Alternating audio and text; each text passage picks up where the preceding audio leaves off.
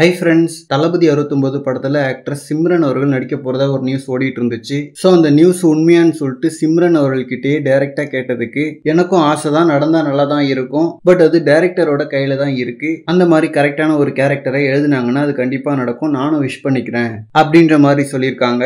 And Leo படத்தில் பார்த்தீங்கன்னா தளபதி த்ரிஷா பேரை திரும்ப பார்த்தோம். தென் கோட் படத்தில் தளபதி ஸ்னேகா பேரை பார்த்தோம். ஸோ தளபதி சிம்ரன் பேரை தளபதி அறுபத்தொன்பதுல பார்த்தா கண்டிப்பாக நல்லா தான் இருக்கும். ஏன்னா ஒரு எவர் கிரீன் பேர் துல்லாத மனமும் துள்ளும் பிரியமானவளைன்னு சொல்லிட்டு நல்ல பிளாக் பஸ்டர்ஸ்லாம் கொடுத்துருக்காங்க.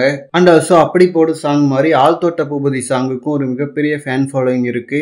ஸோ டான்ஸ்னாலுமே ரெண்டு பேரும் ஸ்பெஷல் ஸோ இவங்க நிஜமாவே தளபதி இருபத்தொன்பதுல இருக்காங்களான்றதை வெயிட் பண்ணி பார்க்கலாம். அண்ட் சிம்ரன் இல்லாம பூஜா ஹெக்டே சமந்தா தென் பிரேமலு ஹீரோயின் மமிதா பைஜுன்னு சொல்லிட்டு நிறைய ஹீரோயின்ஸோட நேம் ஆல்ரெடி இருக்கு. இதுல பிரேமலு ஹீரோயின் மட்டும் கன்ஃபார்மா இருக்காங்கன்ற மாதிரி சொல்றாங்க.